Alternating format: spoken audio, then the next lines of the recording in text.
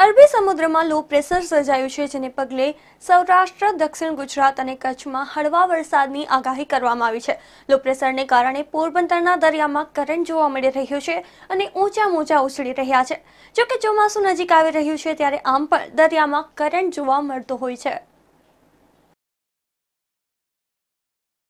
અરબી સમુદ્રમાં સર્જાયેલા લો પ્રેશરને લઈને હવામાન વિભાગ દ્વારા વાવાઝોડાની જે આગાહી કરવામાં આવી રહી છે, તો બીજી તરફ જે સૌરાષ્ટ્ર, કચ્છ અને દક્ષિણ ગુજરાતના દરિયાકાંઠા વિસ્તારમાં આ વાવાઝોડાની અસર જોવા મળશે. આપ જોઈ શકો છો કે હાલ જે પોરબંદરના દરિયાકાંઠો છે, તેમાં જે વાવાઝોડા અને જેનો જે અસર છે, તે જોવા મળી રહ્યા છે. દરિયાકાંઠા વિસ્તારમાં જે વાવાઝોડાનો જે કરંટ છે, જેને લઈને હાલ મોજા છે, ઉછળી રહ્યા છે, તો બીજી તરફ હાલ પોરબંદર શહેરમાં છેલ્લા બે દિવસથી જે વરસાદી વાતાવરણ જોવા મળી રહ્યું છે. આજ સવારથી આજ સવારે પણ જે વાતાવરણ જે આગાહીને પગલે જે વરસાદી વાતાવરણ જોવા મળી રહ્યું જેને લઈને જે ખેડૂતોમાં છે, ક્યાંક ને ક્યાંક ચિંતા જોવા મળી રહી છે. તો બીજી તરફ વાતાવરણમાં જે વાતાવરણમાં પલટો આવતા જે ગરમીનો પારો છે, તે પણ ગગડ્યો હતો. કિશન ચૌહાણ સાથે વિપુલ રાઠોડ ગુજરાત ન્યૂઝ પોરબંદર.